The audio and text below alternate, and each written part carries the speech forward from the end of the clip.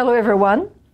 Our president, Dr. Kathy Lawrence, and I recently represented the college at the Federation of Medical Regulatory Authorities of Canada's meeting in Saskatoon, FMRAC for short term.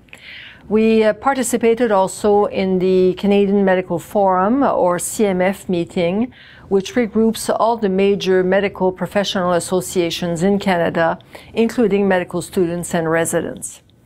There was considerable discussion about what the future of the medical profession will or should look like in a rapidly changing environment due to the leaps in technology enabling access and dissemination of information very quickly, the changing demographic in our society, and also the evolving expectations of the public and practitioners alike.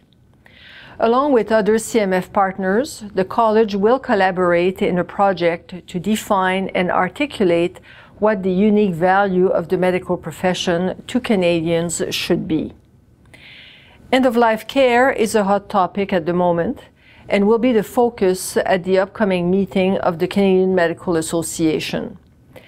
We had an invitational meeting on this topic at the college with CFPC representatives from the ethics and palliative care committees.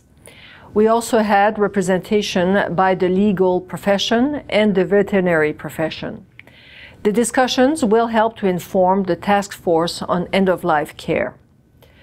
Of course, we talked about euthanasia and physician-assisted suicide. Very rich discussion. Dr. David Gass, a family physician from Nova Scotia, summarized best how I felt myself at the end of that day. I found myself at times siding against euthanasia, and at other times leaning towards the direction recently approved in Quebec with regard to assisted death. All on the same day and at the same time.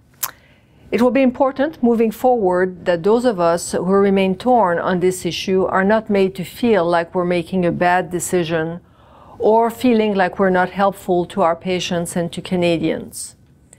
We do hope, through the work of the task force, to be able to assist and support our members to be better prepared as they engage in these discussions with their patients. I hope you can find some time to enjoy the summer season and some vacation time with family and friends.